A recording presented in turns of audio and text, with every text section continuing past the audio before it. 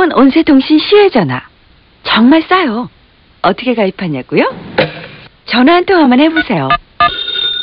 전화 한 통이면 평생 싸게. 온세통신 시외전화 지금